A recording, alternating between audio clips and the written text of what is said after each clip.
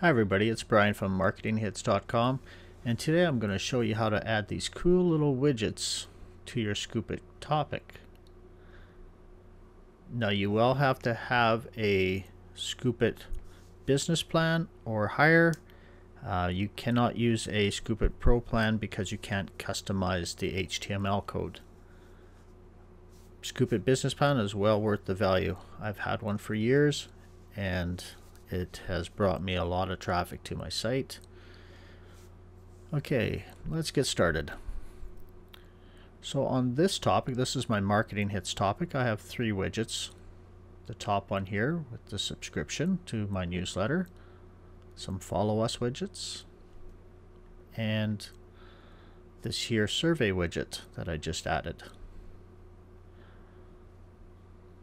On my other topic here, this is on my website design topic. Again, I have a newsletter, the follow us widget, and a contact us widget on the bottom here. Now how do you get these widgets? Well, I'm using a site, brand new site. Uh, they just started up a few months ago called getsitecontrol.com. Here they list their widgets, survey, contact, promo, subscription. Uh, this uses MailChimp and some other services. Follow, a share widget, and a live chat that they have coming soon here. You can see how it's going to look on your page. There's a preview. Pricing is very reasonable. There's a free plan. It's free forever and unlimited widgets, unlimited sites, some stats. I use the Pro plan, which is $10 a month. It gives me a few more options. Again, if you have a higher traffic site, there's other plans for those.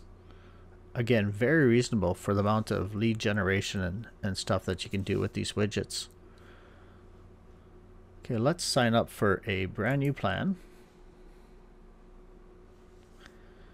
There's my other account here. I'll just make a new one.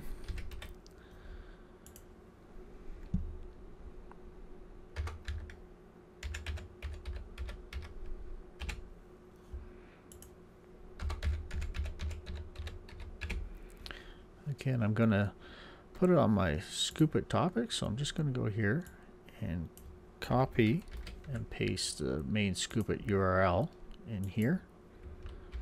You wouldn't want to put your topic because this way you can add it to more topics and I'll show you how that to do that in a video here.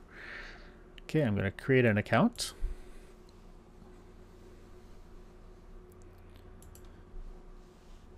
Okay, I now have a free account. It lists the Scoop It website up here.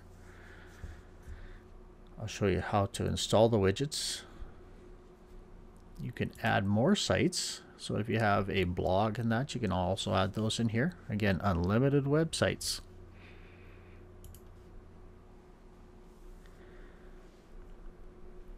And here we've got the 330 day plan.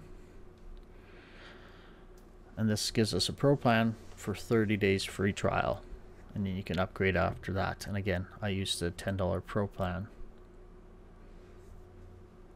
Okay, let's make a widget first and then I'll show you after how to install the widgets on your site. So for this one, again, here's the different types. I'm going to make a survey widget for my Amazon versus eBay topic. So here we can make a the name unique.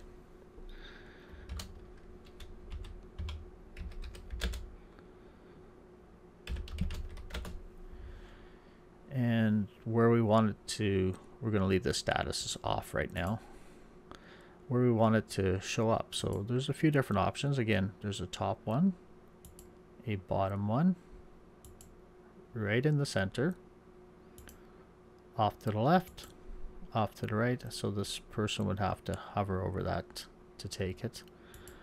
One coming up from the bottom. Again this is what I use for my contact one on the other side, the one that kind of floats on the corners there. So for this one, I am going to use the right in the center pop-up. Okay, you can change this button here, the text, if you want to. I'm going to just leave it as send. Different styles of questions you can add. Okay, let's add a question.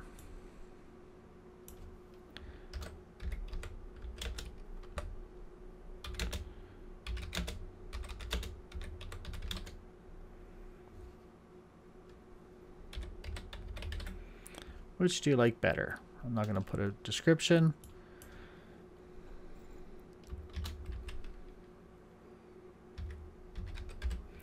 Amazon, eBay, and we'll leave the other in there too.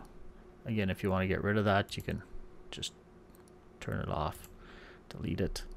Uh, we can add commenting here so the person can comment after they've made the selection.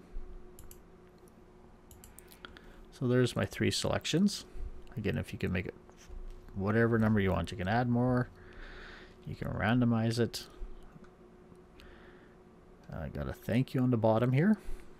You can preview it to see what it's going to look like, but we'll install it on the site and I can show you how that works. Okay, so that's the survey set up with the questions to begin. And here you can see how it's going to look. It's a live preview. Okay, now for design, we can, it finds the colors of the website that you've submitted. So we can use the scoop it green there, or you can change it. We can change how it's gonna be animated. So I like the swing one here. And because we've got the free pro trial plan, we can click this and it's going to remove the little logo that was in here. So that's their logo that's clickable to their site, but with the pro plan we can remove it. Okay, now that we have the design, we can go on to the behavior. So this is where we tell it how often, when to show. So the first one here, start to display the widget at once as soon as the page loads. Or there's different options. It's great if you got a widget that when someone's leaving the page, it will show up. So there's a few things there.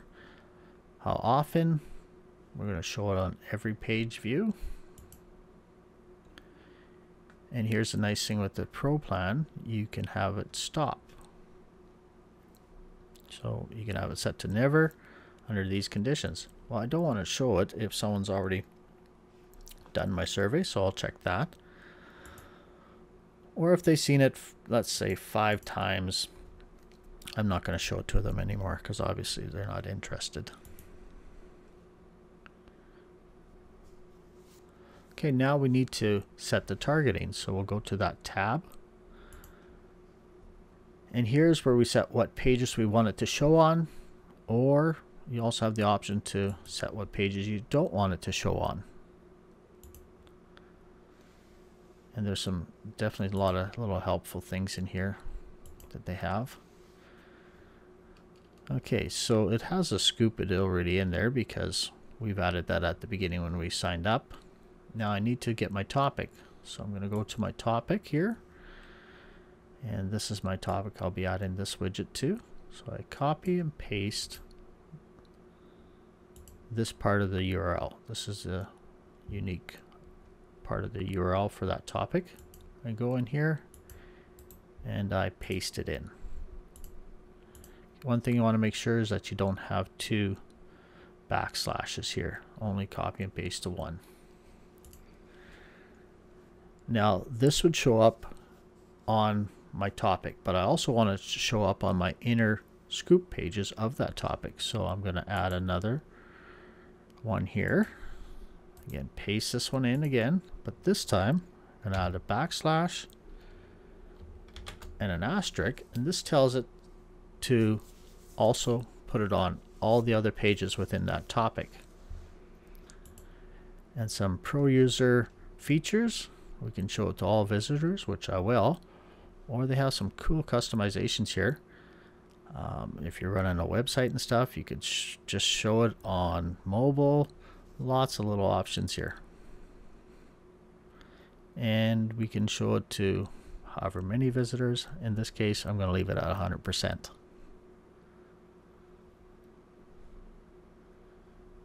Next tab, integration. Again, this is how often we want it to send me the results for my other survey that I have on my marketing hits. I like it right away to see who's filling them out. And it's going to send me an email every time one's filled out. Okay, so that's how to set it up. We'll save this. Okay, now it's asking us to activate it or leave it deactivated. Well, we can activate it and then install it on on the Scoop It topic. Okay, so now we're going to install it. I'll show you how easy that is. So now that I'm finished, I'm going to need the code. One. Okay, now we're going to add the code into our Scoop It topic. Okay, go up to Site Settings here.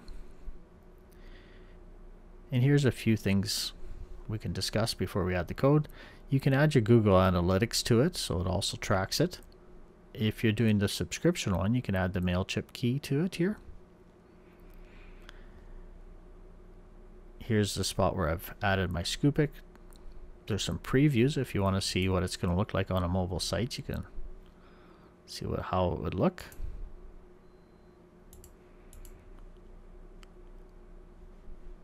Okay, let's install the code. So here's our code that it gives us. Really simple to do. Copy and paste. And if you have a WordPress site, there's other options there, but we're going to use this copy and paste for our Scoop topic. So I'm going to copy it. So I copied all this code. I'm going to go over to my... Okay, now let's go ahead and add that widget code into our topic. So here's my topic again, Amazon versus eBay. Go to the customization tab here. This is where you edit your templates or switch templates. For this one, I'm using the adaptive template, but it doesn't matter which one you're, you're using. The widgets would work on all of them. Again, as long as you have a Scoopit business plan or higher so that you can edit the HTML code. So let's go ahead and add the code. So click here on edit HTML. And you'll see all this scary code come up. Only thing we have to do is copy and paste what we have right here. So I always go down one line and paste it in. So that pasted that code that we got from get site control into our HTML code here. Now if we click update preview, our widget now shows up. So we know we've done that right. Click save. And there it is. Just that easy. Now when someone comes along and fills out my survey, they like that, they can type something in there, click send, and there's the thank you. Okay, now that we've added that widget, let's add another widget to the same topic. Okay, we're going to go back to the dashboard and create a widget. This time we'll do the follow widget. And here you can see you can add it to, again, all the different spots. Just like the other ones. I'm going to add it to the left hand side here. It has all the social networks available. Let's just add a Twitter one. I'll grab my Twitter URL.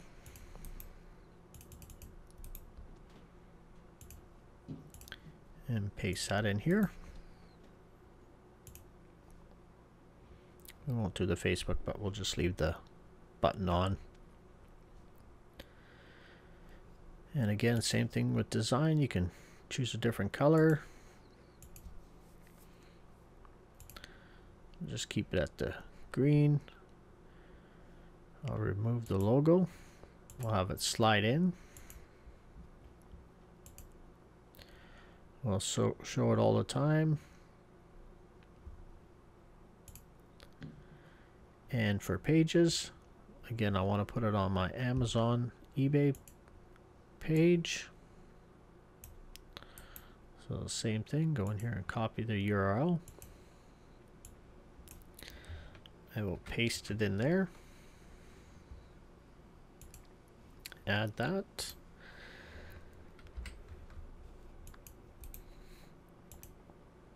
And add it to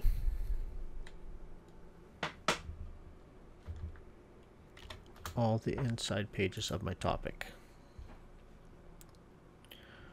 Who will see it? We want it to all visitors and 100%. So then we click save. Oops. I guess I can't leave that blank. I have to either fill it in or remove it. So I'll just remove it. Now we just have the Twitter one up there. I'll click OK. It's going to say, do you want to activate it now or leave it deactivated? We'll activate it now. Okay, so I have those two widgets on that topic. If I go back to my topic, let's close that and do a refresh.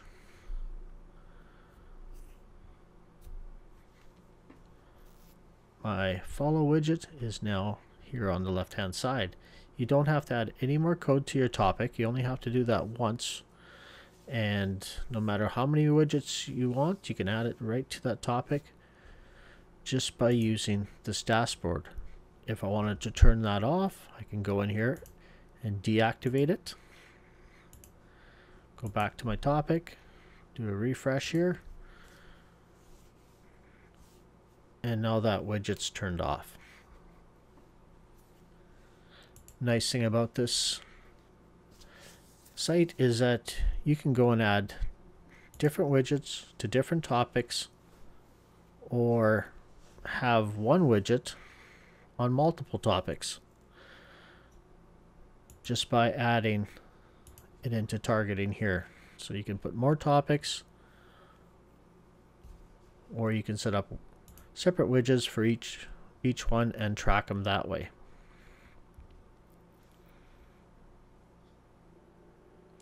I hope you found this how-to video helpful.